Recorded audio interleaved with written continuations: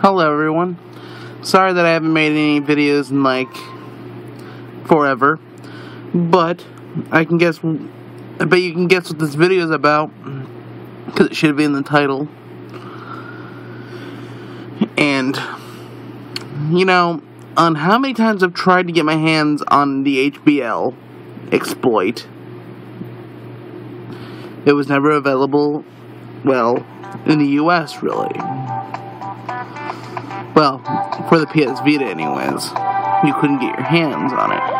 Well, I finally got my hands on on the new HBL exploit.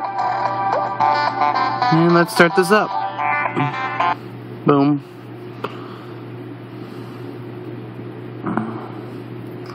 Loading up. As you can see, the first menu which I can't seem to get this emulator to work. This one crashes just as soon as uh, Mario starts walking out. Uh, Landcraft, I get that that works for just a second and then freezes. And this one, I'll show you what that does because I don't have to worry about it. Error, Lodestar home hook or whatever the fuck. All right, this one I've actually managed to get to work. See. Alright. I'll start game.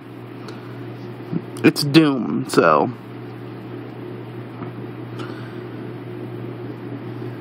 Here we go.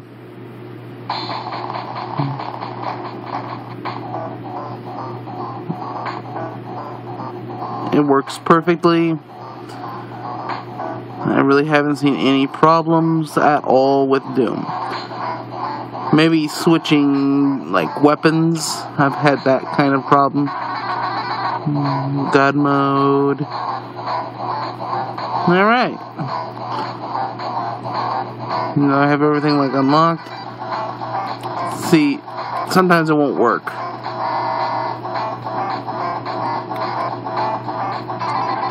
But I guess it is working this time. Alright.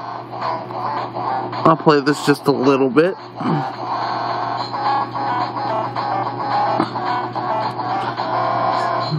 I've been trying to get emulators to work though. That's mainly the reason why I wanted the HBL exploit. It's for emulators. But I've managed to get some things to work. Like this. So it works pretty well.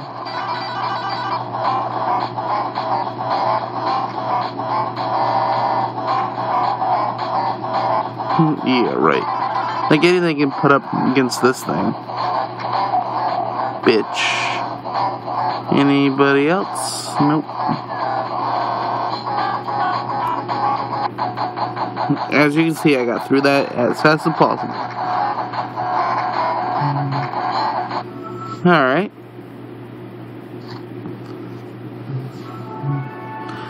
As you can see, I don't know how to exit that game without having to, uh, well, there really isn't anything you can do to exit that game. That's that's the only way I know how to do it. Alright.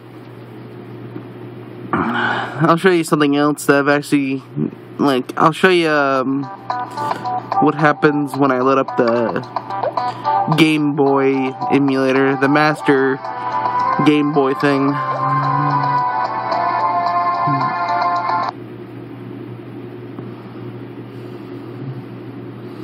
See, I've only had like maybe one thing not like the one only one time where this thing did not boot up.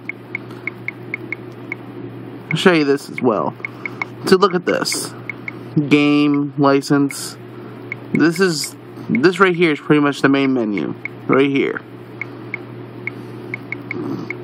but none of these actually go anywhere. I bet they do, but we can't load them up. And then in save data, this is how you actually install shit. I'll show you something right here. See? Do you want to install this homebrew? Yes. Then it'll do this little uh, thing right here where it's pretty much taking the files and putting them in there, yeah. See, you have to have them like zipped up or something like that. to install them. Then it goes in here. And unfortunately, there is no way to delete the games, though. So, uh, I've discovered that too. And here's the emulator for the Nintendo games, which you can see works pretty good, as it should. But,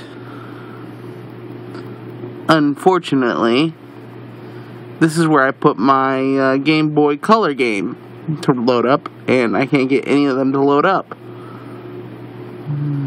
So, I can't get this to run.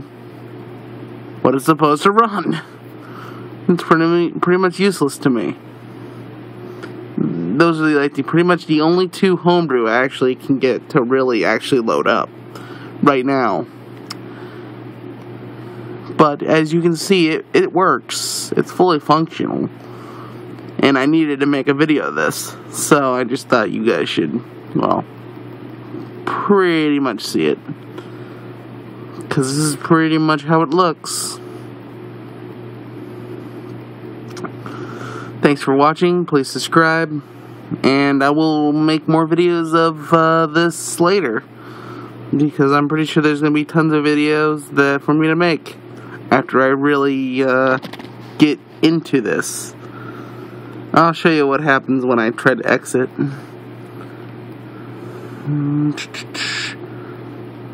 Alright, exit. This little text will pop up right up there. Nothing will happen.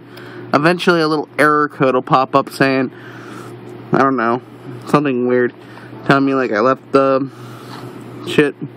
But yeah, as you can see, yeah, it's it's awesome that I can do that though. But I will eventually show you the process of setting up how to install like PSP homebrew to it and shit because it's kind of a weird installation type deal because you have to go through the save data using the PS Vita save data function as a a way to be able to load homebrew. All right. All right. Thanks for watching. I got I to get this video uploaded. Thank you. All right. Bye.